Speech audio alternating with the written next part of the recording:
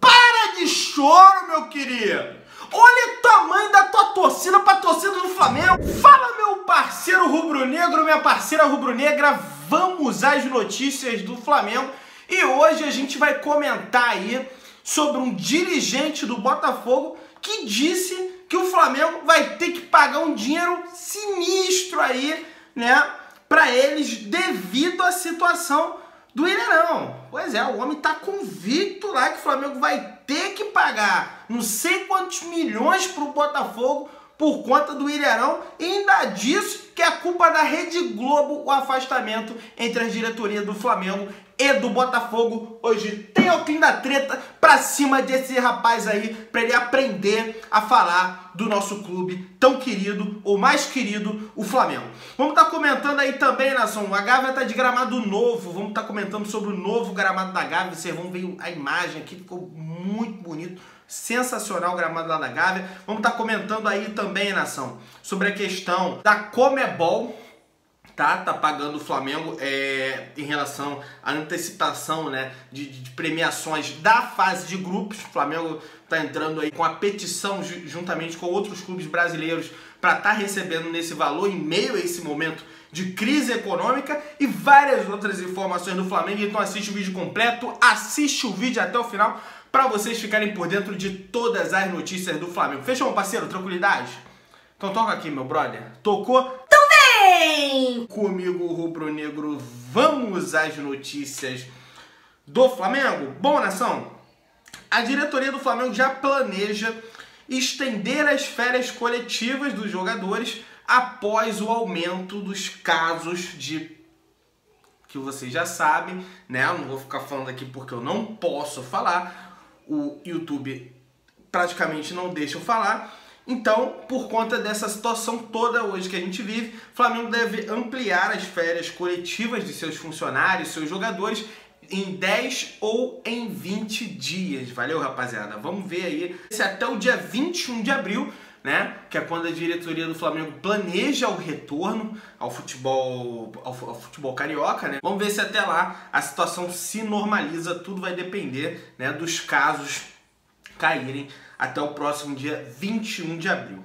Bom, Hoje, às 7 horas da noite, quem concede coletivo, quem concede coletiva, quem concede entrevista à Flá TV vai ser o meio-campista Diego, rapaziada. Pois é, Diegão da Massa vai estar lá na Flá TV para responder a pergunta de vários dos inscritos da Flá TV e vários rubro-negros que lá estarão também. Então, 7 horas da noite, quero todo mundo ligado lá na Flá TV para assistir a entrevista do Diego. Se você está assistindo esse vídeo, já é depois das 7, depois você assiste na íntegra. Primeiramente, assiste o vídeo completo. Valeu? Tamo junto, meu camarada. Bora lá. Passando a régua nesse assunto, vamos estar tá comentando aí agora sobre o dinheiro, né? Que o Flamengo, né, tá pedindo a antecipação juntamente com outros clubes brasileiros, que são o Atlético Paranaense, o Santos, o Palmeiras, o São Paulo e o Internacional. O Flamengo tá juntinho com esses clubes aí para receber o que é de direito pela participação na fase de grupos da Copa Libertadores da América, que são os 3 milhões de dólares equivalentes a 15 milhões e 600, e 600 e 600 mil reais na cotação atual do dólar. A Comebol disponibilizou de forma adiantada até 60% do valor, que gira em torno de 1 milhão e 800 mil dólares. Só que o Flamengo e os outros clubes agora querem a antecipação completa né, desse dinheiro, né, que é de direito dos clubes, só pela participação na fase de grupos. E por quê, Pedro? Porque a gente vive uma crise absurda econômica, os clubes estão passando por uma situação financeira horrorosa, não vem jogador, não tem dinheiro de bilheteria entrando, os sócios torcedores estão cancelando o plano, não, não vende camisa. Então todas as fontes de receita dos clubes estão lá então, a única medida é pedir antecipação desses valores. E outra situação também é que a Adidas atrasou o pagamento para o Flamengo. A situação do pagamento né, do material esportivo da Adidas, né, da primeira parcela. Então, isso aí já complica ainda mais a situação. Né? Então, o Flamengo está correndo atrás desses 3 milhões aí. Vamos ver se a Comebol vai liberar, né, com todo esse apelo, é, dos clubes. E rapaziada, a Gávea tá de gramado novo. Pois é, vocês podem ver aí o comparativo. Primeiro comparativo, a situação antiga do dia 1 né, quando o gramado foi retirado, dia 1 é, de março, e agora é a situação de hoje. Olha só como mudou, galera. Olha só que sensacional ficou o gramado da Gávea. Essa, essa grama aí, o Flamengo importou cerca de meia tonelada de semente vinda dos Estados Unidos né? Vieram é, meia tonelada de sementes dos Estados Unidos para serem implantadas Gávea e ficou nessa situação maravilhosa aí que vocês puderam é, conferir do gramado. Então, só não dá para jogar lá, né? Infelizmente, né? Parece que não, comporta uma capacidade mínima de alguns requisitos ali para estar tá jogando na Gávea. Flamengo, é, há um tempo atrás, queria ampliação né, da arquibancada da Gávea, só que aí a, Associação dos Moradores, alguma situação lá, não, não deixa, porque não deixa, não sei se também muita gente fala que é o governo que não deixa, porque aí o Flamengo vai parar de utilizar o Maracanã, e se parar de utilizar o Maracanã, o Flamengo, o Maracanã vira um elefante branco, que aí vai ferrar o governo, que vai ter que ficar com o elefante branco. Então é toda uma situação aí que emperra o Flamengo né, de ter o seu estádio próprio, além de né, o, acesso para você ir ao Maracanã é muito melhor do que você ir à Gávea. Né? Por mais que na Gávea ele tenha as pistas e tal, no Maracanã tem o metrô e tem o trem, juntinho ali. Para quem não mora no Rio de Janeiro, pois é, você chegar no Maracanã é muito fácil, cara. Tem o trem e tem o metrô. Tem, pode de carro, pode de ônibus, pode de helicóptero, pode de avião, pode de qualquer meio de transporte que vocês quiserem, então isso aí também pesa, né? Nessa situação de estar tá jogando na Gávea, mas é bom pra garotada da base do Flamengo, né? Sei lá, algum dia o time do Flamengo for treinar lá, for treinar lá, ou então a garotada, a base do Flamengo faz jogos na Gávea, né? Então é bem interessante ter esse tipo de gramado é, lá na Gávea, né?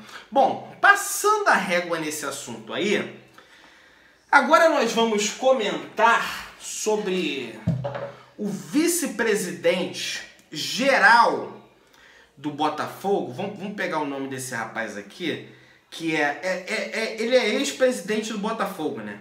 Ele é ex-presidente do Botafogo, o nome dele é Carlos Eduardo, Eduardo Pereira e ele deu uma entrevista aí ao canal do Nicola e falou sobre essa situação aí da dívida que o Flamengo, né, segundo ele, o Flamengo teria pela negociação do Ilharão. Primeiro, eu vou explicar pra galera aí, pra, pra galera aí que, que, que não tá ligada, essa dívida que segundo eles o Flamengo tem, é porque na época que o Ilharão veio para o Flamengo, né, o Botafogo tava devendo não sei quantos meses de salário para o Ilharão.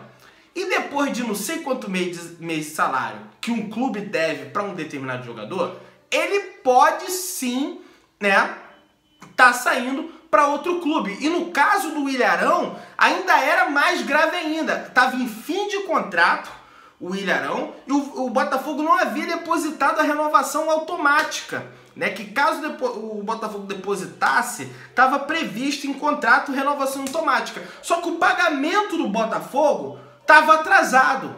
Então o Ilharão teve uma proposta do Flamengo, né? E falou, pô, entre ficar no Botafogo, entre ficar no Flamengo, vou picar minha mula, né? E vou jogar no Flamengo. Pois é, aí depois que o Botafogo viu que já estava tudo certo com o Flamengo, eles foram lá e depositaram o valor de 400 mil reais para pagar a renovação automática do Ilharão para o Ilharão não estar indo para o Flamengo. Só que aí, né, meu amigo, já era tarde demais. Né? A vaca tinha, já tinha ido pro brejo, o leite já estava derramado. E o que, que eles fizeram? Ficaram chorando até hoje. Então, o Botafogo, a partir disso, né, pensando que estava certo, move uma ação na justiça até hoje contra o Flamengo, exigindo que o Flamengo pague o valor da multa rescisória do Botafogo, do Ilharão, que na época era cerca de 4 milhões de reais, né? Segundo eles, em outubro, o Botafogo conquistou, junto à quarta turma do Tribunal Superior do Trabalho, o TST,